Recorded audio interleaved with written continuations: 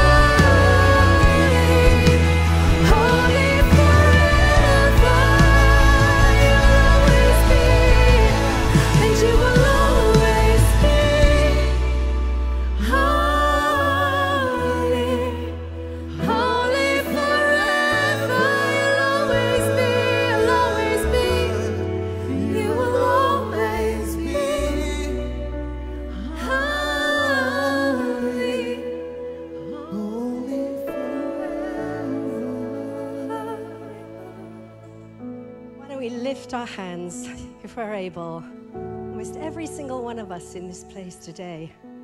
Something so powerful about the lifting of hands to a holy God. We welcome you, Father, Son, and Holy Spirit. Thank you for being amongst us this day. We just say, We love you, Lord. We love you and honor you in this place. Well, please, so lovely to see you. Why don't you, yeah, you, why don't you applaud the Lord? Welcome him in this place. A big, big welcome. My name's Karen. I'm one of the leaders here, and it really is my great pleasure to welcome you on this Mother's Day service. Well, before you sit down, why don't you turn around, say hi to a few people while I welcome everybody who is watching online today. It's so great to have you with us. And as always, we hope that you feel at home with us today.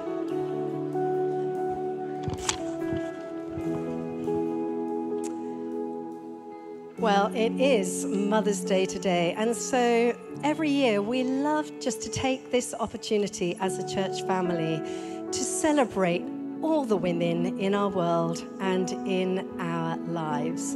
And so I would like to invite all of the women here today, and this is for you at home as well, just to stand so that I can spend a few moments just to pray over you. So, as all the women stand, men, why don't you celebrate them, welcome them, thank them?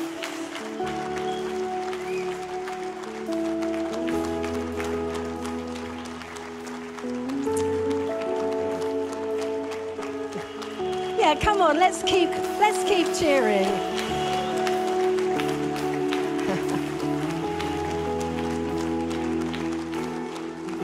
I hope those of you who are at home can sense the love in the room for you as well. So let me pray for you all.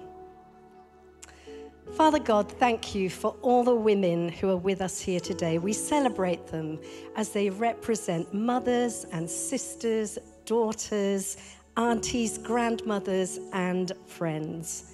Thank you, Lord, that you know each one by name. You love and care for each one of them, and you're interested in every detail of their lives. We pray that they would be honored, loved, and respected in this place. And as we reflect on the diverse journeys of motherhood represented here today in our church family, we ask that you would give all of those who are parenting the gifts of patience, kindness, and wisdom as they meet the challenges of an ever increasing pressurized society. We pray for the adoptive mothers, for foster mothers, for stepmothers, for mentor mothers, and for spiritual mothers among us. Your role is a very holy calling. And I pray that they would know the ways in which they reflect your nurturing heart, Father God. We pray that their influence will plant seeds of faith that grow into a lasting legacy. We extend our heartfelt empathy to those who've endured the pain of losing a child. We stand with them in grief, entrusting them to your comforting arms, Heavenly Father. We also pray for those who've miscarried and for those walking the challenging path of infertility.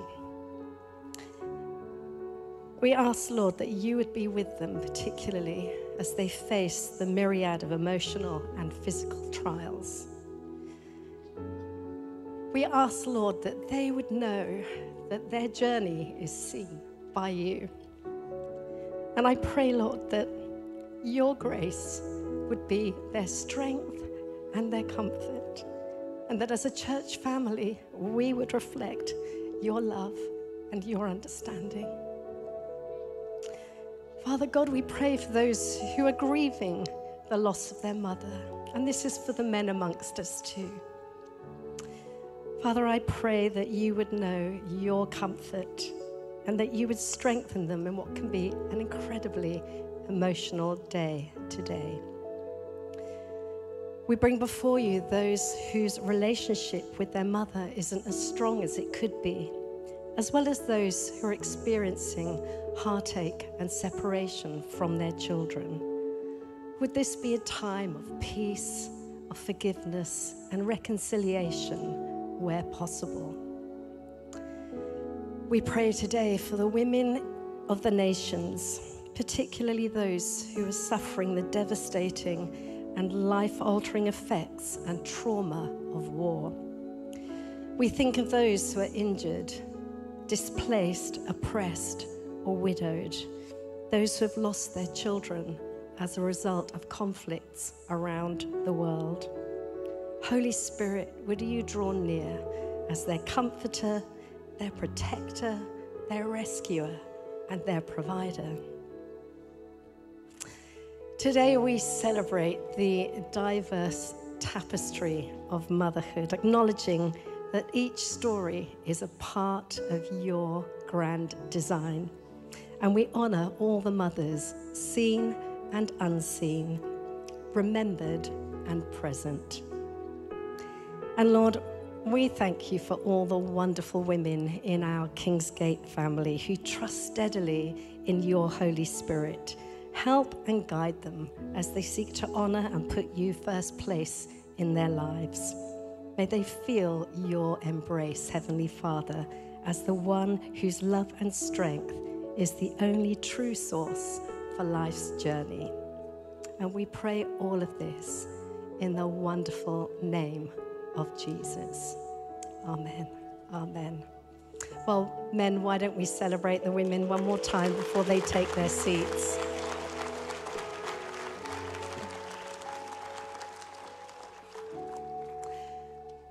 Now we are going to take a look at church news, which gives a little bit of insight to some of what is coming up in the life of the church over the next few weeks. So please, let's watch this.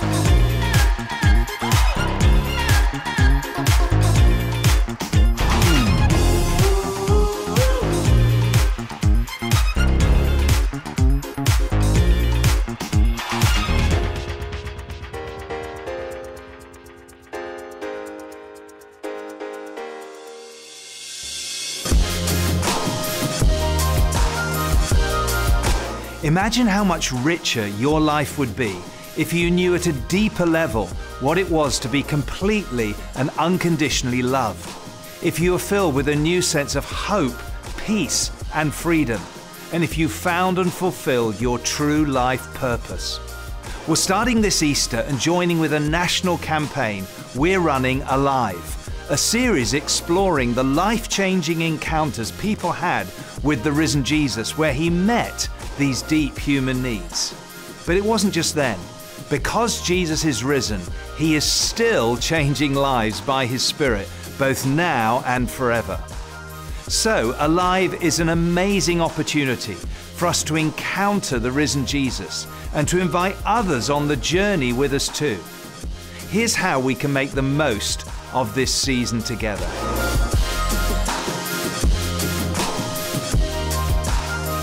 We want to make sure that this season is covered in prayer. So from the 18th to the 22nd of March, we'll be joining together to pray for Alive and its impact. We'll be sharing daily prayer pointers on our prayer mailing list and joining together on Zoom each morning at 7am to pray together. So, to join in with this week of prayer, make sure you've subscribed.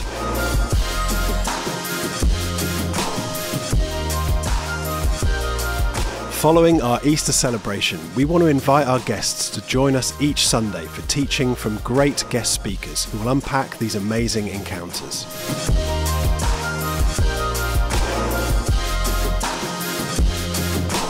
Being in a live group is the best way to journey through the series with others. Groups will be watching the Alive film series, which is made up of five short, really well produced episodes designed to help us unpack the resurrection of Jesus and its relevance to us today. So if you're not currently in a group, we'd love to encourage you join an Alive group to really get the most out of this season together. Or perhaps you could host a group, just simply let us know on our website. So, whether you're joining a group or hosting a group, who can you invite along? Whether they're part of our church family but not yet in a group, or someone who is exploring faith, this is such a great opportunity to journey in faith and friendship together.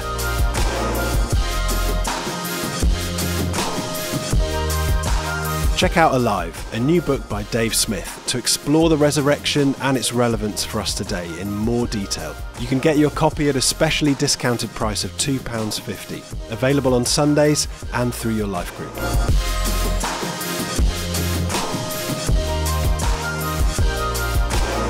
Kingsgate Kids, you are on this journey too. And as you go through this series and learn how you can be fully alive, there will be games and activities each Sunday, as well as activity sheets jam packed with fun ideas that you can do together as a whole family during the week.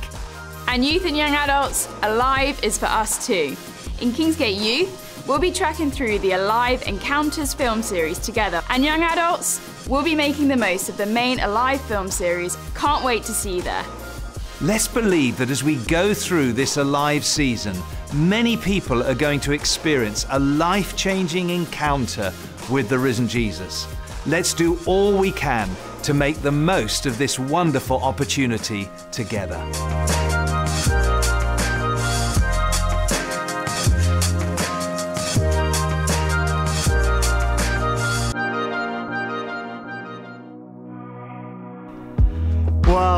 Everyone, let me just add my welcome to church today. It's so great to be with you and a very happy Mother's Day to you. I hope that you have a peaceful day and a joyful day, whatever it is that you are up to. And can you believe that Easter is only a few weeks away? Sunday, the 31st of March, Easter Sunday, an amazing opportunity for, for us as a church to celebrate the good news that Jesus is alive, celebrating with Christians all around the world. But but you know, it isn't just good news for those of us who are Christians, those of us in the church. Actually, this is good news for all. And so that's why we're going to be spending the next couple of weeks in this series just getting inspired and equipped for how we can be the good news but also share the good news to those around us as well. So I want to encourage us let's let's make the most of this time. We're going to be here gathering Easter Sunday 31st of March 10 a.m. And again, we're going to be here, but it's an amazing opportunity to invite others as well to join us either at that moment or the service is going to be on demand on our YouTube channel. So let's just make the most of this. Let's think about who can we invite. That might be through text, that might be through email, it might be social media, it might be the people that we meet out and about. Who can we invite? And, and to help you in that, we've got a little section on our website you can head to with just some ideas and resources for us. So let's make the most of this time in the run up to Easter on Easter Sunday, but then also beyond that, I'm so excited for our new Alive season where we're going to be spending a, just a few more weeks just looking at what does it mean that Jesus is alive and how can I become fully alive? And again, I just want to say to you if if you are not yet in one of our groups, then please do join a group because that's how you're going to get the most out of this series. Watching the videos together, discussing together, growing together, get hold of a copy of the book, but but again, who can you bring on the journey with you? Who can you invite to that? And and let's be praying in this time. Monday the 18th of March, we're starting a week of prayer just in advance to cover this time and say, God, would your kingdom come? Would your will be done? Would people come to know you? Would people come alive? Would people say yes to our invite? So I want to encourage you, join us in that week of prayer. If you're not yet receiving the prayer updates, then you can sign up for those so, so you don't have to go searching on the website. They'll just come straight into your email inbox. So I'm so excited. It is a good time to be alive. It's a good time to be part of this church family. Well, today we are going to be hearing a special one off message from Nkuru. And Nkuru and her husband and the family, part of this church based in Peterborough, and um, they do a lot. Um, Nkuru is a GP as her day job, but also as well as being part of the teaching team, is part of the, the prayer army, and her and Maiwa, they, they lead a life group as well. So, you know, they love this church family. They don't do these things because they have to, they do it because they love you, whether you're part of this church family or a guest. And, and I know Nkuru today has something that she wants to, to share to to just help you grow and uplift you and show you something about who you are in God's sight. So I want to encourage all of us let's lean in, let's listen, and let's learn together as Nkuru shares.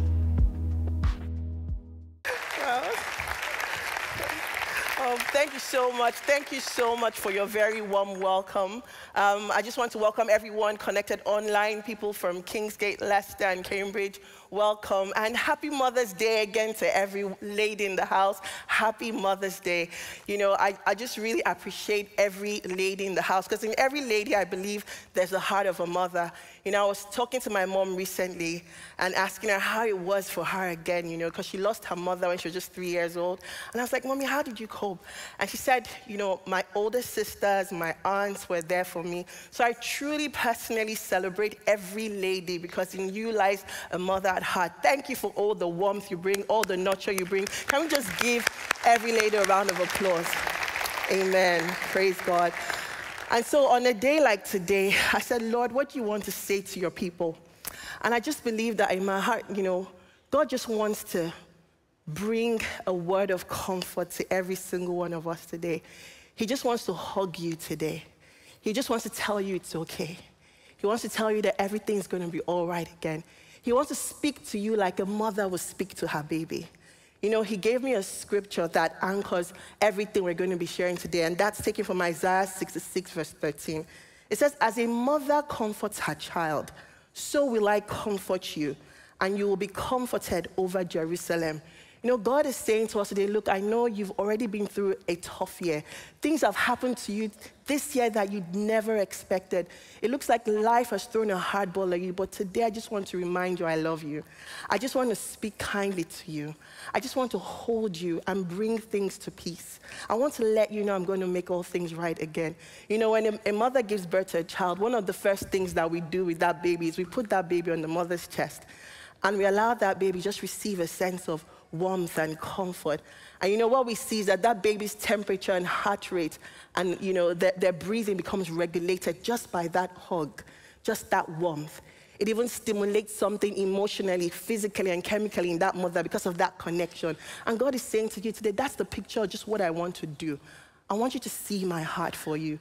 You know, there's some beautiful scriptures that the Lord has given to us in the Word that just shows us the kind of, the way he thinks about us. And I, I think they're so beautiful. And, and I think the Lord will have us look at those scriptures again because sometimes when we think about him as God and, you know, Father, and, you know, sometimes we forget that he can be so tender.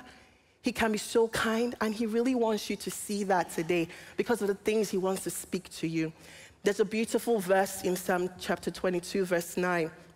And the writer there, the psalmist says something. He says, Yet you brought me out of my mother's womb, safely from my mother's womb, and you led me to trust you at my mother's breast. Wow, look at this amazing connection. The writer is saying it was in that place of safety, that place of nurture, that place of comfort. That's where I learned and came to understand how you wanted, how you wanted to treat me, how you wanted to relate with me. I figured out that it was in that place of comfort and nurture that I could see your heart for me. That's how I learned to trust you. That's the God that we have. That's the God that we serve. You know, this, this, is, this is the tenderness of the, the Father's heart towards us. Sometimes we have to take time to, to think about how God thinks of us, to see his heart for us so that we can truly hear him speak. Because you, you, can't, you can't receive comfort from someone you feel threatened by. And God is wanting us to see the tenderness of his heart again. You know, there's another beautiful scripture that just captures the heart of the Father to us. And it was Jesus who was speaking. In Matthew 27, verse 37, he was speaking, Jesus was speaking to the Israelites then. And you know something, when Jesus speaks, he actually speaks God's heart. Because he says, When you see me, you've seen the Father. So he was talking to the people of Israel then, and he said in those words, Jerusalem, Jerusalem, you will kill the prophets and stone those who are sent to you. How often I have longed to gather your children together as a hen gathers her chicks under her wings, but you are not willing. I don't know if you've ever seen a mother hen and her chicks. You know, I, I, grew up in a home where we had a lot of chickens around, and usually when you come across a chicken, that chicken just takes off, right? But when that chicken becomes a mother hen, you don't want to cross her path. Because she ever thinks that you're coming for her baby chicks, you're going to be in trouble and take you from someone who's been chased by a mother hen before. You, you don't want to, you don't want to, you don't want to, she, she forgets who she is, she forgets how tiny she is. She's going to come for you because you have to go, you're going to have to come through her before you get to her babies. She will charge at you so fiercely because she's so watchful, so protective, so mindful of her babies. And the Lord is saying, you know what? That's what I, that's, he was speaking to people who hadn't come to him yet. And he's saying, look, that's my heart for you. That's how I see you. That's how I want to gather you under my wings. Do you know something, children of God? You and I, brothers and sisters, that's where we live. That's where we dwell under his wings. So nothing gets to you that hasn't gone past him. There's nothing happening to you that he doesn't already know about. And that he wants you to see that because he knows that some of us have really gone through tough times this year. Things have happened to some of us that makes us feel like, God, I can't go on. Where were you when this happened? How could this have happened to me? I don't think I can make it through. But he's saying, No, I've got you. You're under my wings. Even better than that, because of Christ now, where even in Him, there's a scripture that says that our lives are hidden in Christ and Christ in God. How amazing. What a sense of protection.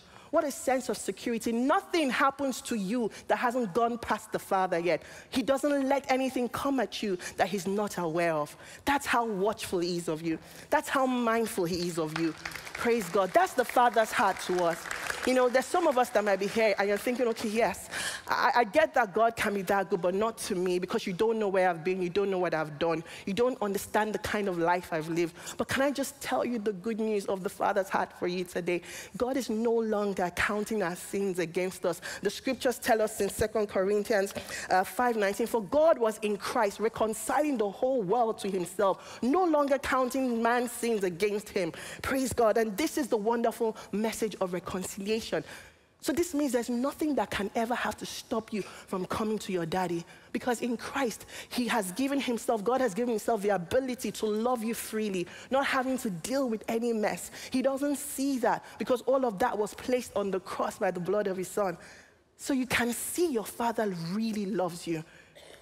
And even if you still doubt it, the word tells us that God proved his love for us. So that even when we were yet sinners, Christ died for us.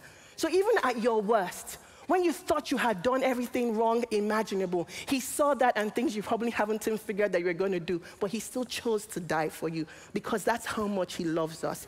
That's how much he cares about us. There's nothing, absolutely nothing, going to stop him from loving you. You couldn't stop him then, he's not going to stop now. He already loved you and there's nothing you can do about it. His love for you is going to, it's, it's as far, he says he's taking our sins as far as the east is from the west. So can you see there's nothing that God will not give for you? The Bible says, He that spared not his own son, but delivered him up for us all, how will he not with him freely give us all things? That's his heart for us today. So now he wants to speak to you, he wants to let you know what he's going to do about the things you've been going through. And he's placed two words of comfort in my heart for you today. As a mother comforts her child, so will I comfort you. There's a word of comfort for every single one of us, a word of comfort for all. This is for every single one here men, women, boys, girls. God is saying to you today, Look, I've seen what you've been through. I know what's happening, and I'm going to make it all right again. I'm going to make you smile again. I'm going to take the broken pieces and put them back together again. I'm going to bring light to that situation. I'm going to flood the darkness with light. I'm going to see, make sure that you can see that there's going to be light at the end of the tunnel. I know that it feels like all hope is lost now, but I want you to know I see your pain. I have heard your cries. I'm not a high priest that cannot be touched with the feelings of your infirmities. I've been there and I know what you're going through. I hear you and I see you and I'm going to make it all better again.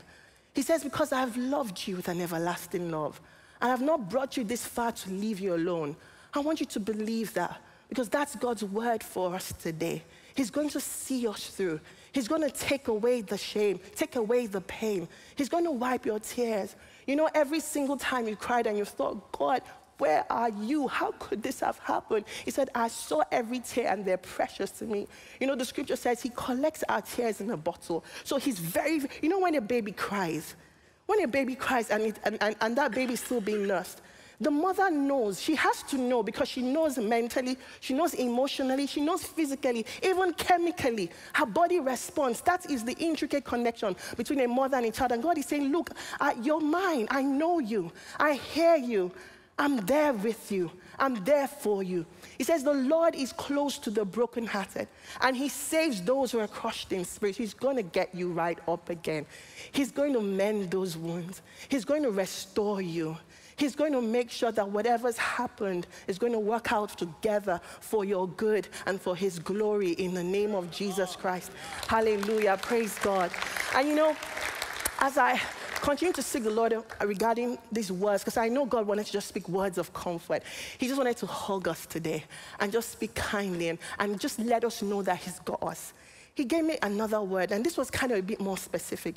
And I just, I just trust that this word will minister to every single one of us. And, and the Lord was saying to me, this was like on the 12th of February. I woke up to pray at 4 a.m., and I'm just singing to the Lord, praying. And I just heard the Lord speak to me, and He says, Look, my people are grieving.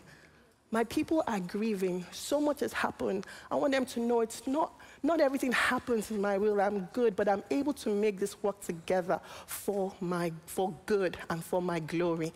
And I thought, okay, Lord, I, I, in, in, whatever capacity and in whatever way, I, will share this. I'll let people know. And I didn't recognize that even for myself, later that day, I was going to need those words of comfort because I then heard of a, a dear loved one who passed on later on that day. And I thought to God, Lord, this, this is heavy, Lord. When I thought about her, she was a, a dear, uh, she was my uh, local pastor back home in Nigeria, and I just thought of her husband and her family, and, and it really felt heavy. I don't know if anybody's ever been in that situation where you feel heavy, you feel burdened by what's happened. But guess what? We have the God of all comfort. And so I came to Abba Father and I said, Father God, we're preparing for this message. Can you like speak words of comfort to me? Because I'm thinking about her husband, I'm thinking about her children, I'm thinking about so many people that are going to be really hurt by this. What can you say to us about this? And God began to speak some words of encouragement that I believe is not just for me, but it's for every single one out there who's been touched by something similar. And God began to remind me of the victory that He won over death. When I would wake up in the morning, he would speak a word, and then he brought me back to the scriptures that speak these words concerning what Christ has done. And if this is for you, please receive these words 1 Thessalonians 4 16, 18. He said, For the Lord himself will descend from heaven with a shout with the voice of an archangel and with the trumpet of God, and the dead in Christ will rise first. Then we who are alive and remain shall be caught up together with them in the clouds to meet the Lord in the air, and thus we shall always be with the Lord. Therefore, comfort one another with these words. Can I just let us know that these words are true? These words are valid. We have a glorious end. Look, in Christ, it always gets better. The future is always greater. There's going to be an assured end because we have an assured hope. Nothing, nothing can break us down. There's going to be more for us at the end. Things are going to work out. God is going to make us smile again. And you know, I was deeply encouraged because I knew that that which was ahead was better than where we're coming from. Praise God. And then, but I said, Lord, I still feel a bit shaken. I don't know if, if you've experienced something that has made you feel like shaking and you're like, Okay, so where do we start from to begin to believe again? Where do we start from to begin to go again? Lord, this has happened. How do I how do I move on?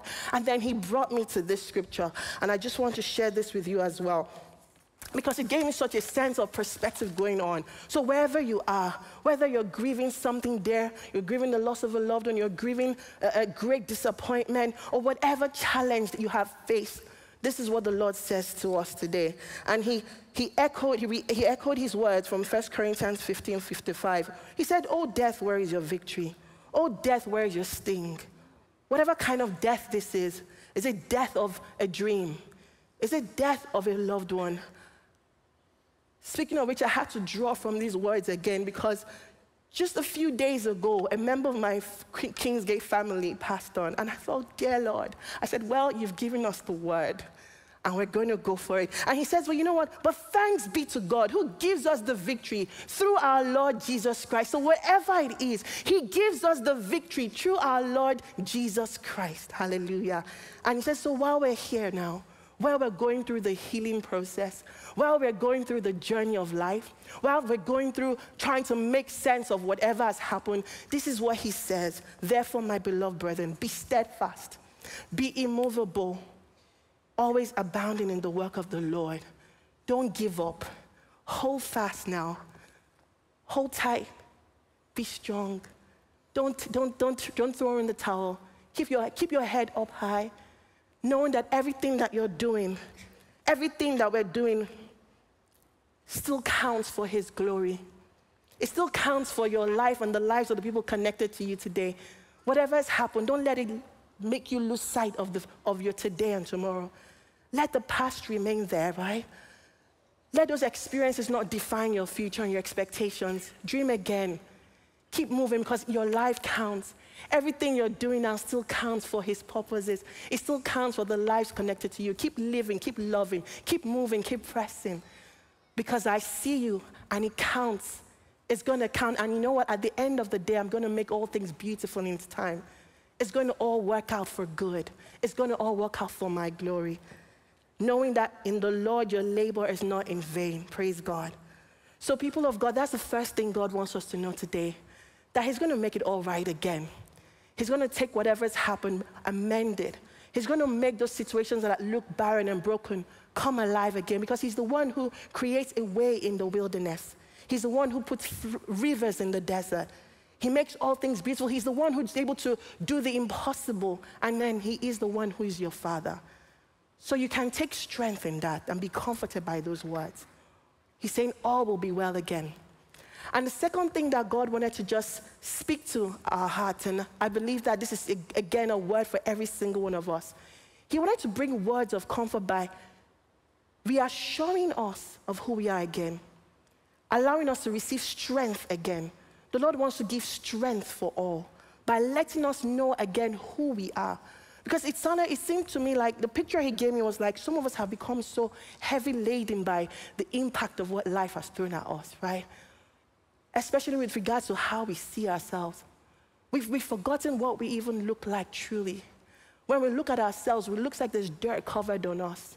People have said things to us. We've made mistakes, so now we've taken up the form of these things. We've decided that this is our identity. But God wants to say to you again, He wants to say to you and I that no, you, those things do not define you. What defines you is that you're my child. I gave birth to you, and that is the truth about you. It's not, none of your mistakes can change that. Something happened at the cross. Something happened when you received my life. I literally gave birth to you.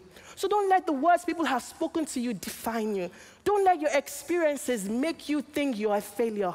Don't lose sense of worth or value because your value lies in the fact, in the inherent fact that you're my son, you're my daughter. I gave birth to you. And you're thinking, ah, what do you mean, Lord? Is this, I've heard this since I was little that you gave birth to me. What, how is this possible?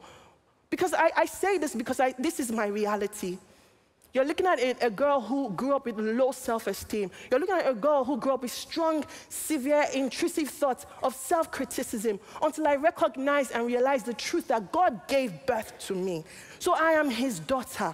And that's what God wants to remind you today. He wants to remind you who you are. He wants to remind you of where you've come from. Oh, yes, your father and your mother came together and you were formed in your mother's womb, right? And then you came from, but look, he breathed his spirit into you. So you have God. That is what makes you alive. You are a spiritual person. You're a spirit being. And when you make Jesus Christ the Lord of your life, he gave your spirit rebirth. He gave you new life. You became one with your Father. Your, your inherent essence is consistent with that of the Father. You know, the scripture says in 2 Corinthians chapter 5, verse 17, this means that anyone who belongs to Christ has become a new person. The old life is gone.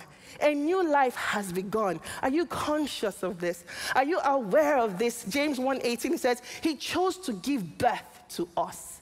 By giving us his true word. And we, out of all creation, became his prized possession. So, how can you think less of you when the Father thinks the world of you? Because you are his prized possession. You are his own child, his offspring. You know, the Father is spirit, so he can't say flesh and blood. He can't say we're flesh and blood, but you're spirit to spirit. He knows you. He calls you by name. So he wants you to stand up again. He wants you to have your dreams again. He wants you to clean off the dirt, shake off the dust that the world has put on you, and remember where your value truly lies. You've got your father's DNA. You've got your father's imprint. You've got his spirit. The Bible tells us he has not given us a spirit of fear, but a spirit of power, a spirit of love, and of a sound mind. This is who you are. You've got your father's nature. And you know the truth about the matter is the more you recognize this truth, you can draw strength from this. Because as a man thinks in his heart, so is he. And you see, you begin to be transformed by the way that you think. But you've got to know truth about you. And let truth about you supersede whatever anybody else says. Because God's word is actual truth. And truth is what defines you. Not even your mistakes, not even the things you said about you. So don't speak down over yourself anymore. Don't talk yourself out. Don't exclude yourself because you're the son of a king. You're a daughter of a king. You're royalty. You're born from above. You're born of him. And he wants you to know this again. So get your dreams up again. Believe again because you're here for such a time as this. He has placed you here to live out a life that reflects His glory because you're full of His glory. You're like father, like son, like father, like daughter. You see, this means so much to me because this is my life. That's why I wear this. This is daughter of the king. That's why I write a blog called Diary of God's Daughter, because that's who I am. And that's how closely and dearly God wants you to know this truth. This is not a fallacy. This is not poetry. This is reality. These things happen in the spirit. These things are real. He knows you by name. God loves you. God cares about you. He's got you engraved in his palms. So receive strength. Because you know, look, if the Father loves you this way, then how can he ever let you go? How can he ever disown you? How can he, he's committed to you for a lifetime and for eternity. Because that is the relationship you have with God. He is your dad. He is your father. And he's loving and kind to you because he's a good one. He's a good father. You know, I had a very specific word, and please, men, just permit me to just say this for less than a minute. But I think God just wanted to give his daughters a gift on Mother's Day. And this is from Psalm 45, verse 13. And ladies, this is just straight from the Lord's heart to you. And the Lord is saying to you, daughters, the king's daughter is all glorious within, and her clothing is of wrought gold. He's saying, daughters, you are glorious from within.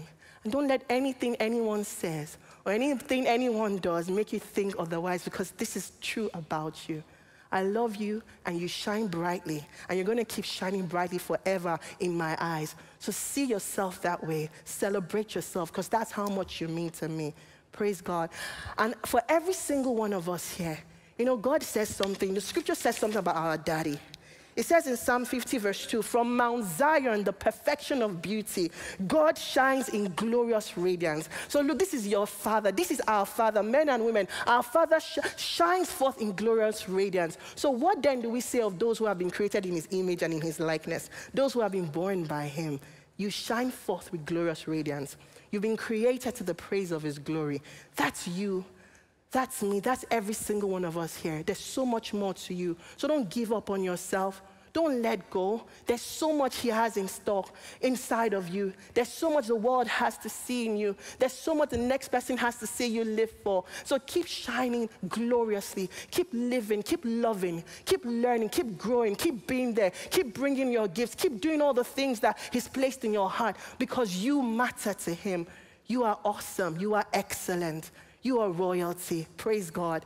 So that's just that, that was the second thing I felt that God just wanted to really share to share with us today, to comfort us by reminding us about who we are. And you know, the, the final scripture that he has for us today is this.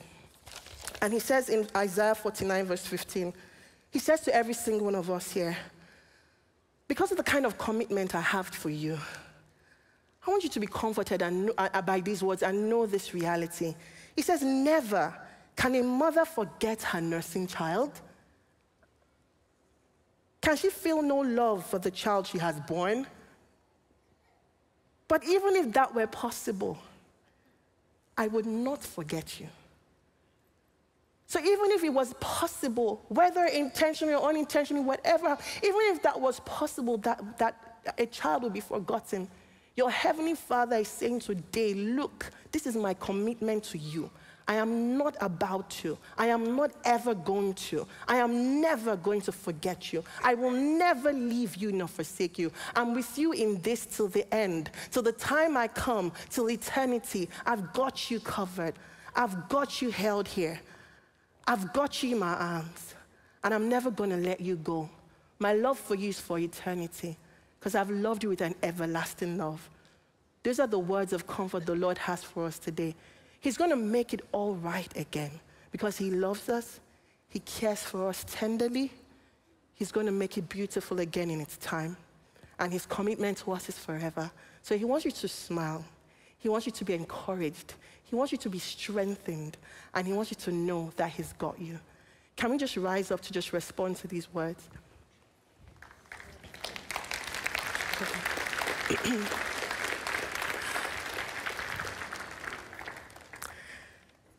you know, you've been listening to me maybe online or you're here, and you've been thinking, you know, I'd really like to receive these words about this God that you speak about, but I don't even know him. And I, I felt the Lord say to me to let you know that how, how, how often, how, how much he has longed to gather you under his wings like a hen gathers her chicks how much He has longed. You see, God made every single human being, He knows every single one of us by name. And He desires, He longs to have you come into loving relationship with Him. That's why He made us. He made us for relationship. So the Father is saying to you today, you, you, don't know me, but I know you. I've been seeking after you, I've been pursuing you. And if you're hearing my voice today, I want you to come, come, come, because I've been longing for you. I've been longing for you. Look, there's a story of a man whose, whose son went away. And then when he came back, the father saw him and he ran to him. God is running to you. you he wants you to come into his loving embrace today and know him as a father would know his child because he's loved you with an everlasting love. So if you're that person today and you're thinking, I want to come to this father, I want to come to you. You see, the scripture says he, he made a way to make sure you have that relationship with him. He sent his son, Jesus Christ, to die for us, to die and pay the price for all our sins, so that nothing will be able to hinder you from having that loving relationship with him. And all you have to do is just say, Yes, Jesus. Come to my heart, Lord. I choose to believe that you exist and that you made this price for me. I want to know you as a father knows his child. I want to know your heart. I want to know this love that you have for me. So if that's you today, you can even raise up your hands and say, Lord Jesus, come. Lord God, take me. I want you to take me. I want you to take me in your arms. I want to know you. You can say, Jesus, come into my heart. I make you mine.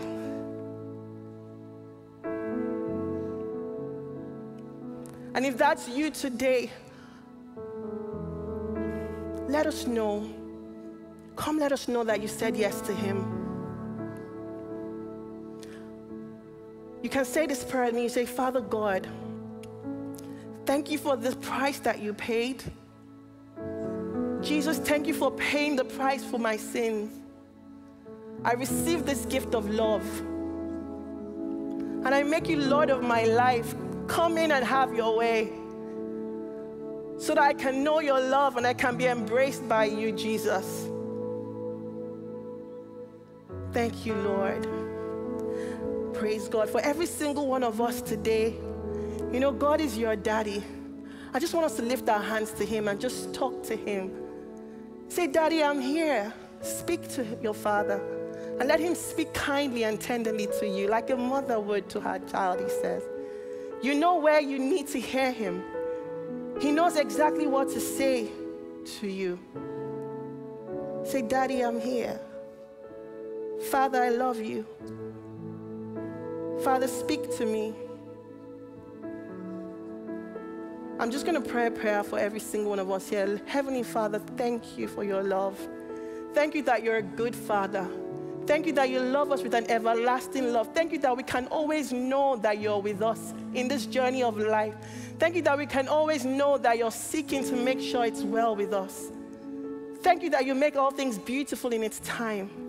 Thank you that we can always know that you'll put a smile on our face.